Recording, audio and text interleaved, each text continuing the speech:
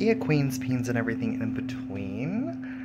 Um, I know that obviously gorgeous is still gorgeous despite all my puberty wounds, but this shit just appeared out of the blue.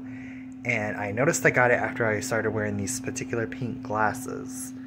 Look at this shit. I need, I need you to see this. This is like a living organism on my face. One appeared right here, and then it subsided, and then another one appeared right here, and I'm not gonna touch it. I can't. It's so itchy.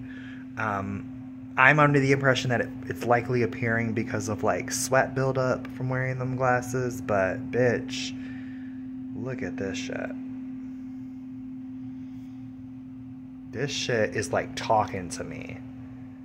And it's like it's so disturbing. Like imagine like I take pictures. This is the first thing you're literally gonna see. You're like, what the hell is that? Like that shit. Does it talk to you in your sleep? Like Jesus.